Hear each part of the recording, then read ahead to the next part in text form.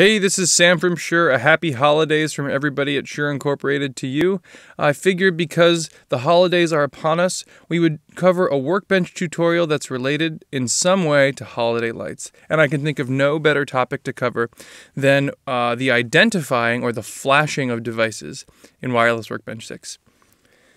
So as many of you know, if you've used Workbench before, it's a great way to manage a lot of your Shure networked systems, all from one workstation on a computer. And, uh, you know, a lot of interfaces that we build into the application are all built to simulate or connect the world that you're seeing virtually in your computer with the physical world of your devices outside.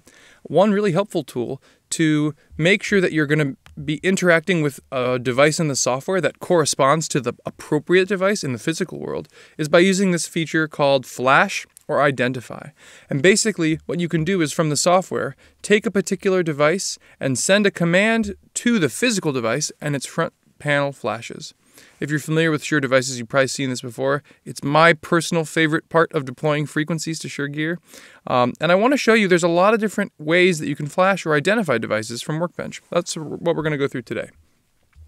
So I'm in the inventory view and I have a lot of Shure devices here. And uh, you'll notice that on the left hand side, um, there are icons that show a bunch of different states and statuses for each one of my channels and devices. Uh, the first one, one I want to call out are these device icons here. These device icons are representative of the type of device that we're looking at. So this is an icon for Axient Digital, uh, this is an icon for a QLXD or a ULXD, so on and so forth. And if you hover over one of those icons, it'll actually give you a little tooltip uh, that says flash device, or it should give you a tooltip. Uh, oh, there we go. When I click the icon, that actually sends a flashing command to the device. And, uh, well, you can't see from my screenshot, but what's happening to the front panel of this device is all the LEDs in the screen are blinking. So this would be a great way for me to say, you know, um, I've got a rack of four, however many devices, and I really want to edit parameters for the top chassis in that rack. Is this the device? I can click flash and make sure that that one flashes. Oh, no, that's not the right one. This is the one. Click to flash. Oh, there we go. And then when I see the right device flashing, I can confirm that what I'm looking at in Workbench is the same physical device in the real world. So this ability to flash device by device is a really convenient uh, tool from the inventory, and all of that is handled just by clicking the icon. Now I know that's a little bit secretive, um, or maybe difficult to discover, so if you right-click on any um, channel or device, uh, this flash command is the first option in the right hand uh, in the uh, context menu.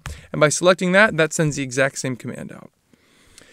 Now, there may be times when you just want to make sure you've discovered all of the devices in a particular rack. So it isn't that you want to flash one device or another, but you want to send the flash command to all of your devices.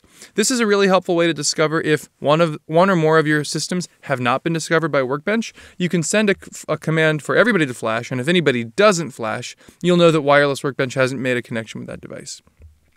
So we put this button down below called Flash All Devices, and when I click, you guessed it, we got a Christmas tree show going on here, lights ablazing. All of the rack devices are flashing.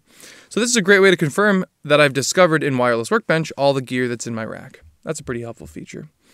Um, and we've tucked a lot of flash controls for different scopes of devices as well. You'll notice that my uh, inventory is organized right now by device type. So my microphones are organized here, and my in-ear monitors and other things are organized here.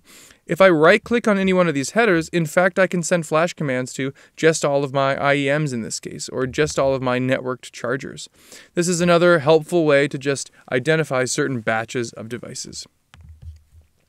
The last set of Flash functionality I want to talk about uh, lives in the monitor view. Uh, similarly, when you right click on a channel strip for a particular channel or device, you get the ability to flash that device. And I did want to showcase one other thing. This is a new properties panel that lays out all of the uh, parameters for this particular channel of an Axient digital system. But when I open this panel, besides being able to navigate and view all the properties of this system, I can actually right click within the properties panel and send an identify command to either the channel or the device. So in this particular case, this is a feature of Axient Digital that's a little bit new and has it has the abil ability to localize flashing for one channel or for the entire device. This is a capability that's only there for some of our systems now, uh, but our intent is to roll it out in the future. So you get this granularity if you find if you want to find just one particular channel.